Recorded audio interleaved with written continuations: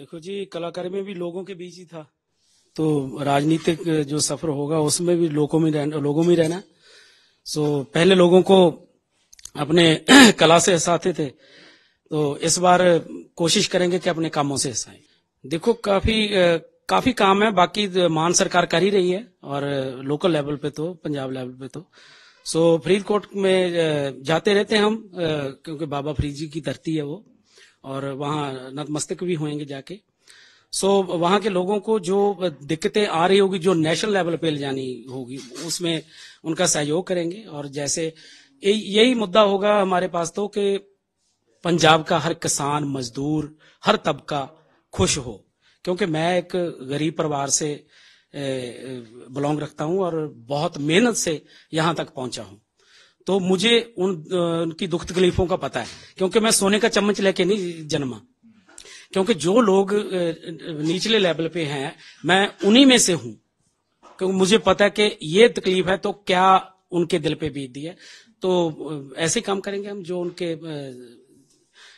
जो बढ़िया कर सके उनके लिए। पुराने साथी रहे मान साहब के मान साहब के साथ काफ़ी काम भी रहे नहीं अब भी हैं। हैं राजनीति में हो गए पहले हाँ जी हाँ जी। पहले कलाकारी में थे और कॉलेज टाइम से इकट्ठे हैं।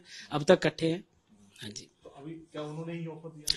बिल्कुल जी सबसे पहले तो मैं मान साहब का धन्यवाद करता हूँ और पार्टी सुप्रीमो केजरीवाल साहब का और पाठक साहब का जिन्होंने मेरे पे भरोसा किया कि मैं कुछ लोगों के लिए कर सकता हूँ।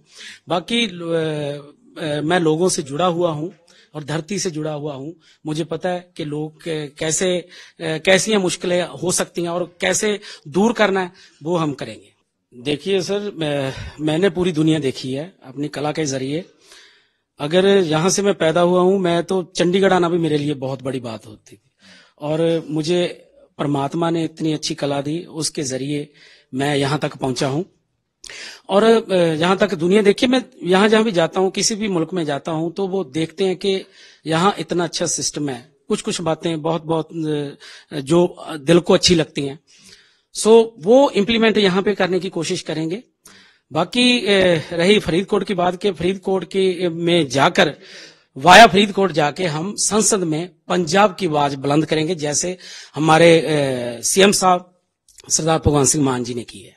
सो क्योंकि हम इकट्ठे रहे हैं और उनकी रहनुमाई ही करेंगे बहुत अच्छे मेंटर हैं वो मेरे लिए और बहुत कुछ उनसे सीखा भी और सीखेंगे भी कि कैसे आवाज़ बुलंद करनी है।